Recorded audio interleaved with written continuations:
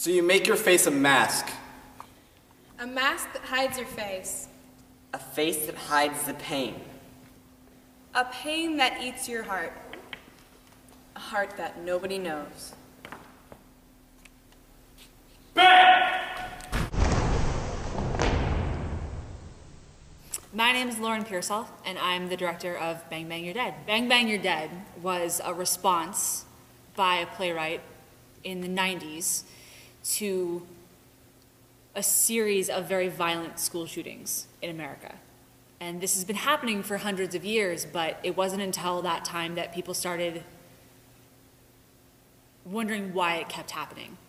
And this was an artistic expression of why. I think what's really great about this production of Bang Bang You're Dead is that it's available to everyone. Literally, it's free admission. It costs nothing to come in and see it. You can come see it as many times as you want. You can bring as many friends as you want.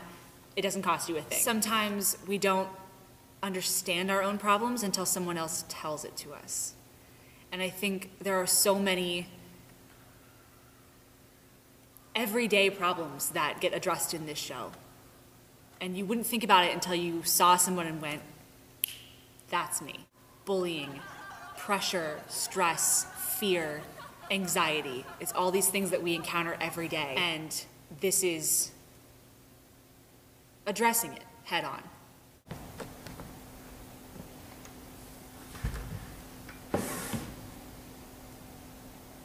I know how to stop it. Boom. No more pain.